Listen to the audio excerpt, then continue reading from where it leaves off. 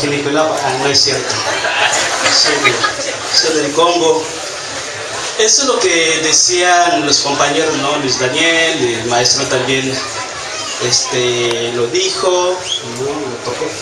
Eh, o sea, esos nombres y categorías que le decimos a la gente, eh, depende de las de los contextos históricos, ¿no? Como bien lo dijo el maestro, porque aquí, digamos, está mucho en discusión esos términos, ¿no? Y de donde, digamos, vino eh, esa problemática, en el caso de África, ¿no? De esos de afrodescendientes, de negros, pues vino de allá, ¿no? De África. Nosotros, allá en África, pues no nos preguntamos, o sea, no, no la pasamos así pensando si somos negros, somos afro, afrodescendientes, somos... No, no, no es nuestro rollo, ese es ya el rollo de acá, ¿no? Por eso, este, hace otro, otra cosa, por ejemplo, se maneja más este, las etnias, este, qué tribu eres, porque, bueno, un investigador decía que, por ejemplo, no es lo mismo ser negro en Estados Unidos, en Sudáfrica, en Brasil y en Nigeria, ¿no? Y como no es lo mismo ser yoruba o no sé, Brasil es el, el segundo país que tiene más negro en el mundo. Este, bueno, pero en Sudáfrica ya es otra cosa, ser negro como que te identifica, ¿no? Porque siempre eh, han estado en conflicto o han estado siempre defi- eh, defendiéndose eh, contra de los blancos. ¿Con quién tienes que ir, no?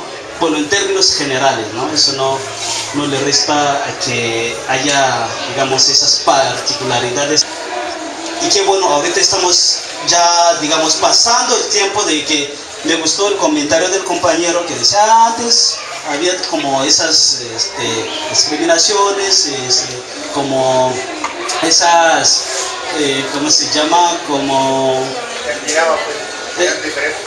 Sí, sí, y, pero ahora como que se está cambiando. O sea, así yo, yo creo que con el tiempo, como eso eh, nos viene desde un tiempo bien, bien preciso, bien, bien ubicado, y creo que con el tiempo tenemos que ir eh, creando otra manera o resemantizando esas este, categorías, eso, esas eh, palabras que, que no- no- nos vienen con todas esas cargas este, despectivas, peyorativas de la colonia.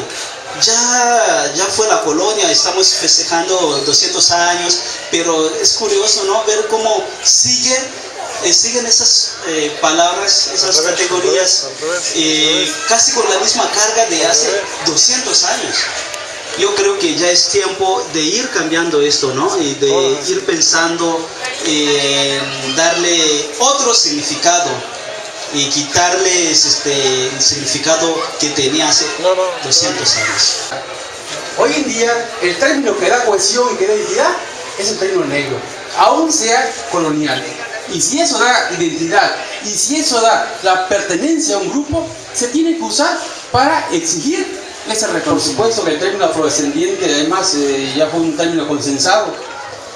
Pero también yo decía que lamentablemente quienes consensan son quienes determinan, quienes son, quienes son, son, son los pocos que, que determinan cómo nombrar a una población. ¿no? Entonces, bueno, darle también la oportunidad a la gente para que diga también cómo quiere ser llamado. Y yo creo que en esa situación también la academia tiene que tener mucha participación. Este, sí me doy cuenta que los problemas res- respecto a cómo nombrarnos y cómo llamarnos de pronto se dan a, par- a partir de que la gente se va, se va y regresa. O sea, ese conflicto tiene, me estoy empezando a ver que tal vez tenga origen cuando hay un movimiento fuerte. Y entonces cuando uno va, cuando uno regresa, se da cuenta que es relativo y que el contexto cambia y, vive como diferentes tipos de- de relaciones hacia con las personas. Y pues no sé, en la mayoría pues nos damos cuenta que no son como muy agradables. Y entonces en el estudio te das cuenta que de fondo es a partir de un proceso histórico de poder, ¿no? Y que, y que, y que bueno, ustedes dirán, bueno, este, pues yo la paso re bien aquí, pues yo no me estoy preguntando qué soy o qué no soy, pero da la casualidad que a lo largo de la historia del mundo ha habido muchas guerras y muchos genocidios a partir de ese tipo de problemas, ¿no? Y problemas de raza. No sé, en África incluso había gente, este, gobernante, que hacía limpiezas étnicas. O sea que si tú eras afrodescendiente de aquí, de, José María Morelos, y el otro de, de Cuaji, y no le parecía que estaba en el gobernante era limpieza étnica y los mataba a todos. ¿No? O sea, a, este nivel, por eso creo que es importante también este, este tipo de, pláticas, no más allá, por, no, no en lo individual, si yo soy o no soy, sino lo que implica en, en contextos de poder y relaciones, en ese sentido que de pronto nos controlan a nosotros. Queremos agradecerle a, Israel, a los compañeros que nos han invitado, que han hecho pues todo, todo un esfuerzo para que lleguemos bien, para que estemos aquí, ¿no? Agradecerles esta conexión, de, facilitarnos este vínculo con ustedes, esta plática con ustedes, que para nosotros es muy importante, y este, desagradecerle también a la comunidad el hecho de que nos haya recibido pues, esta actitud, digamos, de convivencia, ¿no? Y, este, y bueno, parece ser que estamos ya eh, en términos de irnos a, la ¿no?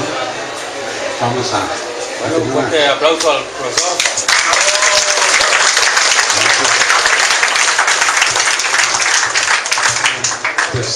Organizamos entonces para lo que viene antes.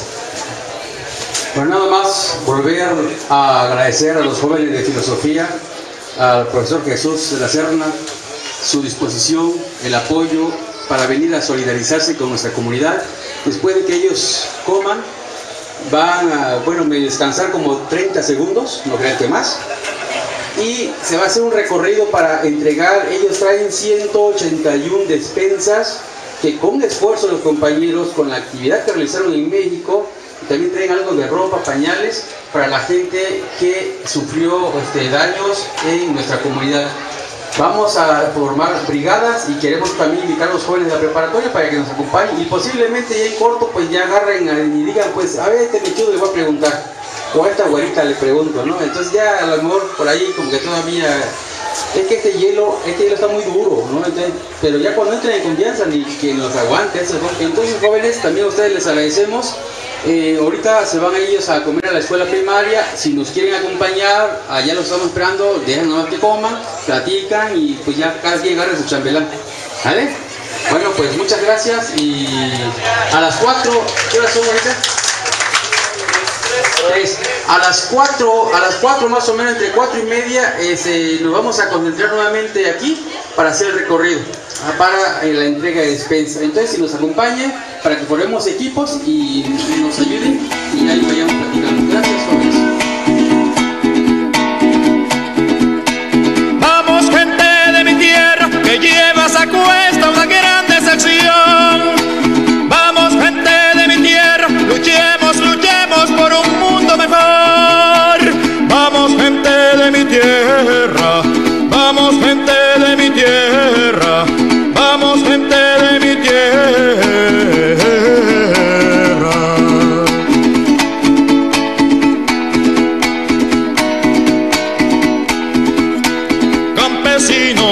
en tu rancho de Bareque.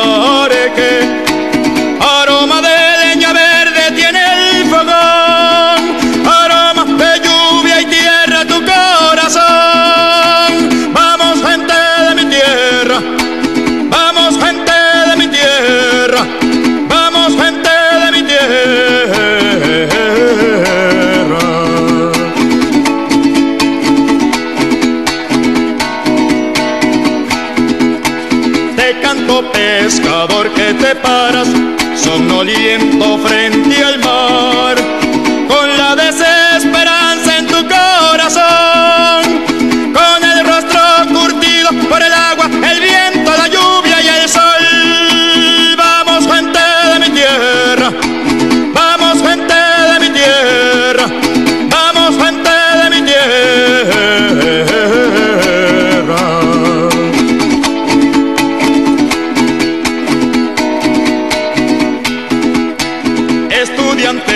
que llevas en el pecho un gran corazón, tu patria